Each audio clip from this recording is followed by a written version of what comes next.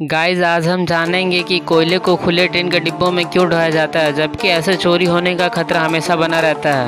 Number one आपको बता दें, कोयले की लोडिंग बुलडोजर से या मशीनों से की जाती है। खुले डिब्बों में इससे लोडिंग करना आसान होता है, जबकि पैक डब्बा होगा तो लोडिंग करने में ही ज़्यादा समय लगेगा।